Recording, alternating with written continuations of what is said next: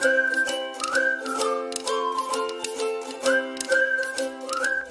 one, go.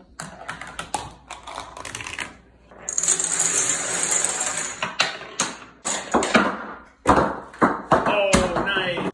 Okay, you guys, we actually did it. Right here is the mark. So that's just done. I'm just so glad because that takes so long.